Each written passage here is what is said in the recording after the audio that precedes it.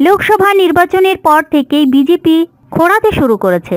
যে নির্বাচনই হচ্ছে, সেই নির্বাচনেই হারছে বিজেপি। এ রাজ্যে উপনির্বাচনে ভরাডুবি হয়েছে। তিন বিজেপি শাসিত রাজ্যে জোর ধাক্কা খেয়েছে বিজেপি। এরপরই বিজেপির একের পর এক নির্বাচনে হারের কারণ খুঁজে পেলেন বিজেপির রাজ্য সভাপতি দিলীপ ঘোষ।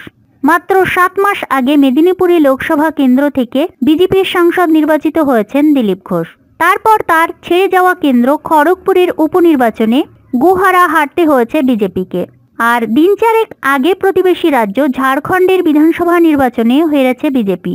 সেই হারের জন্য দায়ী কে তার সাফাই দিলেন বঙ্গ বিজেপির রাজ্য সভাপতি। তিনি বলেন, স্থানীয় সমস্যা আর সরকারের প্রতি সাধারণ মানুষের অসন্তোষই এই হারের জন্য দায়ী। বিরোধীরা যতই দলের ঔদ্ধত্য আর এনআরসি বা সিএএ কে দায়ী করুক, তা ঠিক নয়। ঝাড়খণ্ডে স্থায়ী সমস্যা ছিল। তার জন্যই সরকারের উপর অসন্তোষ তৈরি হয় সাধারণ মানুষের। তারই ফল ভুগতে হয়েছে ঝাড়খণ্ডে।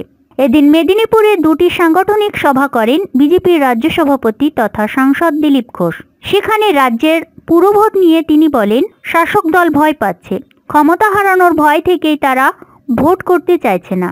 ভোট হলে তৃণমূল হারবে। তাই রাজ্য সরকার জোর করে পনেরোটি পুরসভা ও দুটি পুর নিগম ভোট আটকে রেখেছে।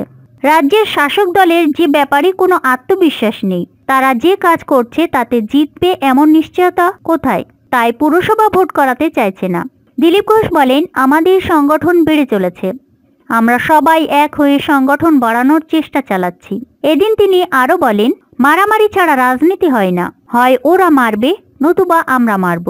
এই মারামারি চলতেই থাকবে। তাই তো আমি জেলা সফরে গেলেই আমার উপর হামলা হয়। আমার উপর আক্রমণ শানায় তৃণমূল কংগ্রেসের নেতাকর্মীরা।